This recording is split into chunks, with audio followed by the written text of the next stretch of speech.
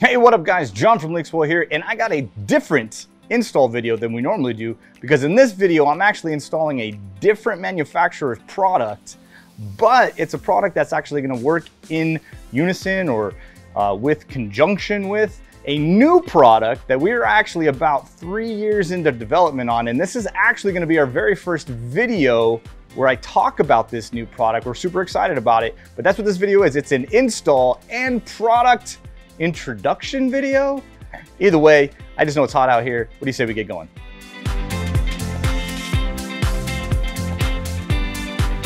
All right, like I was saying, we are doing a different install video than we normally do because normally we're only installing our products and sometimes we'll demo uh, like applications and stuff you can use on our radios. But this time I'm actually gonna physically be installing another brand's uh, product while interfacing with ours and introducing you guys to a new product. So what I'll be installing, just to give you guys a heads up, I'm gonna be installing a Lensun Solar hood mounted solar panel. Pretty cool. Uh, Lensun Solar, check them out. They've got a lot of applications where they've got panels that are actually made to mount straight to the hood of your vehicle. Uh, they have their own MPPTs that'll really plug into your car battery or however you're going to wire it up. They've got some really cool stuff.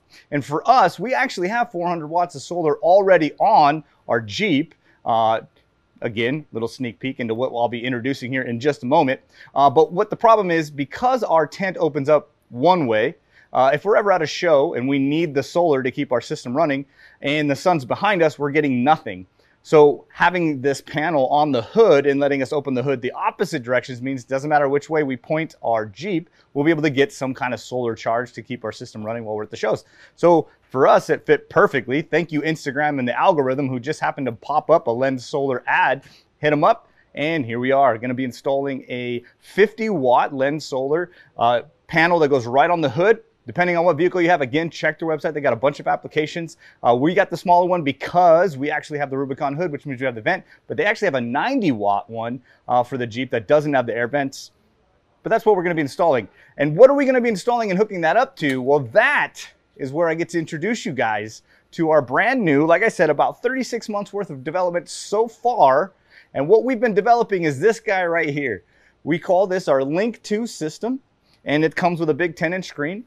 Uh, quick rundown of what this thing does here. This here is designed to be your complete power management system, power control system. So what we will do is we're gonna install this. We actually have it in our Jeep. We've had it in our Jeep for about two and a half, three years. Uh, this is our, I believe our fourth variation of our first gen version.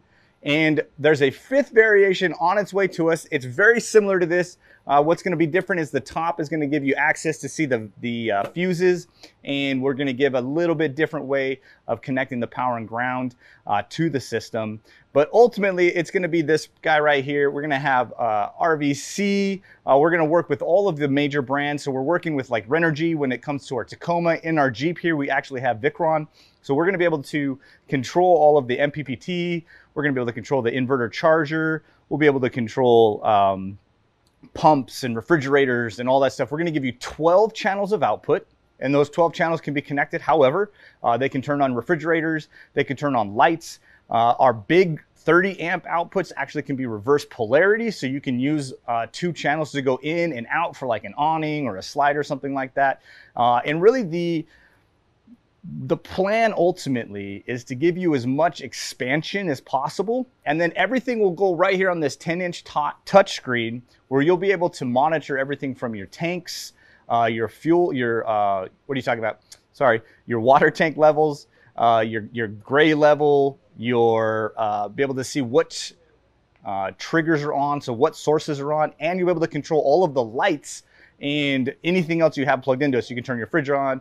Again open slides, turn on all of your lights, all of that stuff. And it's going to be in this really user-friendly uh, UI on this 10-inch screen. This screen will mount anywhere. On top of that, depending on what you've got this going in, so if you have this going in like a Sprinter van, uh, we'll actually give you where you can put physical switches so you can control things from the screen or you can have physical switches outside and they can control as well. You can turn it on with the physical switch, off with the screen.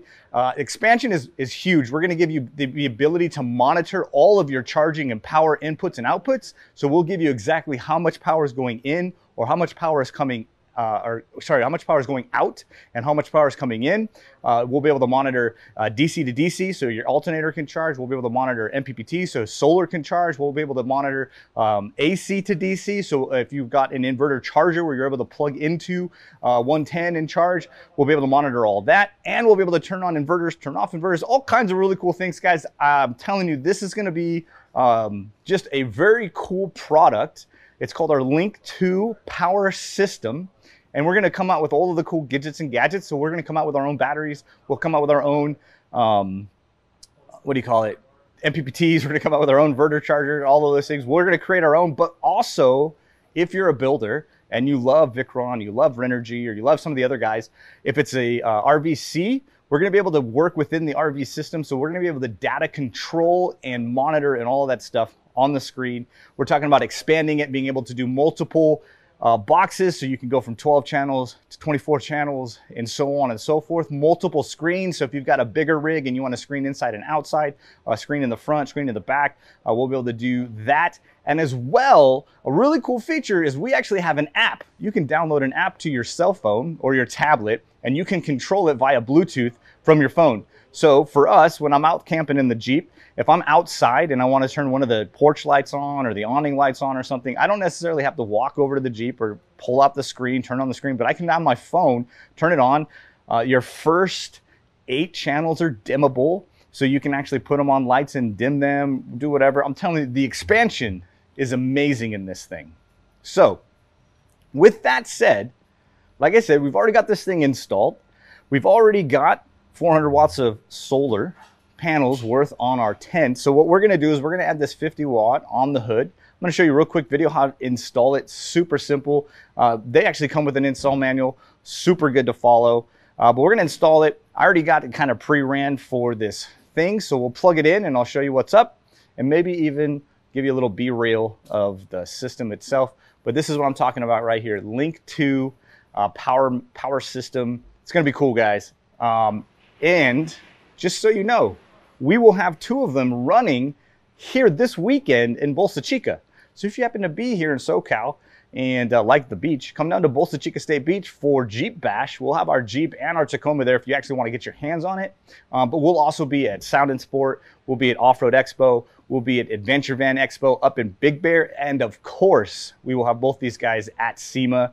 Uh, so if you're interested in seeing what, what we have happening with this Link 2 power system, we will be around. We're actually going to be taking the parts themselves, not with the vehicles, out to a couple of shows in Indiana. So we are getting there, guys. Just keep your eyes out. We'll make sure we post where we're going. But what do you say we real quick install this solar panel so we can get more power? Cool? Let's go. So like I mentioned, we've got the hood that has the air vents. So we've got the little 50 watt that's gonna fit in between the two kind I don't even know really what they're supposed to be for. They're like hooks. I'm assuming we could hook things to the hood. I don't know. Anyways, that's where ours goes. If you read the install manual, they'll actually tell you what to do. So I've already kind of done the prep work. So I've already put the double stick tape on the back of the, the panel itself, which I'll flip around to show you in just a minute. I've also kind of measured out where I kind of feel like I want to put this thing. So for me, uh, they suggested to use some uh, blue painter's tape or something like that to kind of mark it and give you a spot because once this thing goes down, it's probably going to go down. Uh, but as I mentioned, they come with the panel. They also come, you can notice we already have the black sticker on our hood, but they actually come with a vinyl sticker so that you can put a sticker down first so that the double stick tape is actually on the vinyl and not the paint, just in case something gets wonky. You're not messing up your paint too bad. Uh, and it kind of helps blend in the panel. So rather than it just being a square panel, it kind of gives the look and, you know, walking by, you probably even know it's a solar panel, which is honestly probably my favorite thing about this application. When I saw this, I'm telling you, I don't know how Instagram put this thing up in my reel, but they did. And I'm glad they did because that's probably my favorite thing about this panel is the way it looks. It looks like it doesn't belong. You have to pay attention to see it there. Uh, so I'm really excited for that. And like I said, it's going to give us that opposite angle as our tent. So at this point, I don't know that more power could ever be a problem when you're out having fun and you got your system running. So uh, like I said, I already did some of the prep work. Let me flip the panel over for you real quick, show you the hood. We're gonna go like this. I'm gonna stick that bad boy down, open the hood, we'll run the wire. And I've already got the wire for the rest of our panels. There's a junction block right there at the bottom of the hood. So we'll plug it in. And that's pretty much it, man. That's a pretty simple install. So uh, yeah, let's get at it. All right. So I'm six foot two, still need a ladder. Jeep's kind of tall. But anyways, here you go. So you can see there's the back of the panel. I already got some uh, double stick tape put on here. Uh, what they uh, suggest you do is you use alcohol, of course, uh, some uh, alcohol to wipe it down to make sure there's no grease. And then the other thing they suggest you do is you take some painter's tape and kind of measure where you want it so that you have kind of an outline where it is. Uh, funny story, guys, I can't find my painter's tape, so I actually had to take some painter's tape off of one of our amplifiers that we had marked uh, to fix some things. So um, don't have as much of a line as I'd love to do, uh, but let me grab the alcohol and let me wipe this guy down here to make sure we get a good, good, nice seal. All right, so just wipe this bad boy down. No, I only got to get it right here in the middle. I will probably do a couple runs of this just because the last thing I want is to hit Mach 50 in the Jeep. And anybody who's driven a Jeep knows there's no such thing as Mach 50. You're lucky to hit 50. But I want to make sure that it's nice and clean and ready so the adhesive stays nice. And there we got it. All right.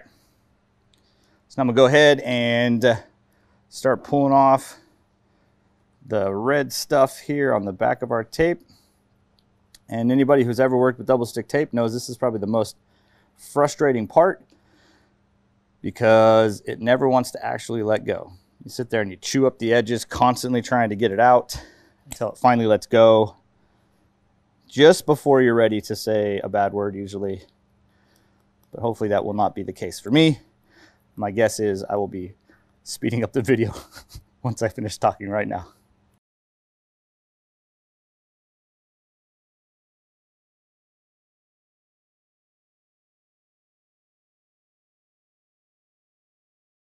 All right, we got our tape off. So I probably should have commissioned some help in this, but I didn't. So we're going to do our best.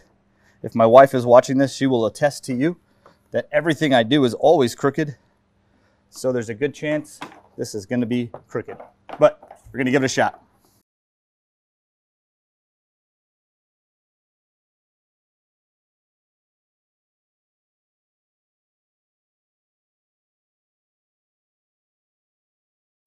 Well, that is where it's going, guys. if it's crooked, uh, you can leave a note in the comment and I will just tell you it happens. That's the best I could do. So we're just gonna press it down nice and solid. Have it bend down the hood here. And this thing is on a plastic. And so it doesn't necessarily say anything. Actually, I didn't read to see if it said anything. My assumption is as the engine gets hot, uh, the plastic will start to uh, kind of take that curve a little bit better so it won't try to lift up. Like that. There it is. So there you go, guys. Lensun Solar 50 watt panel. It is a bit crooked. I'm a little upset about that, but at the same time, uh, there's nothing I can do right now. So it's as simple as that when it comes to mounting it. Hopefully you have help and you can mount it better than I mount it. Uh, but I have my junction right here for the rest of my solar. So I'm gonna pop the hood. We're gonna run it in. I'm probably gonna run it down here and just have it come up with the rest of my, like my lighting here.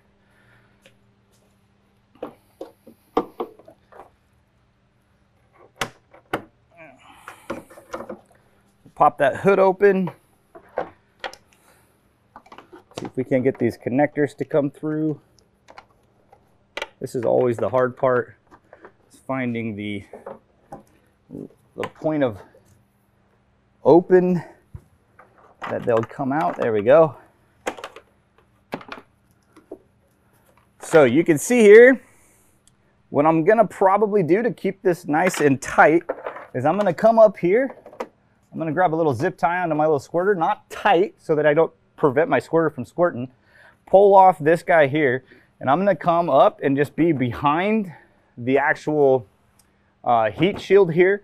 I'll come down here towards the corner, and then I'll drop down here and kind of give myself a little bit of play uh, so that I can make sure that the hood opens and closes, as well as uh, drop it down here. And then these guys here, I'll kind of coil this up and hide this in here. There's a big hole in there. And that's is what we'll do. So let me grab a quick panel popper so I can panel pop that one piece off, run it in, bear with me.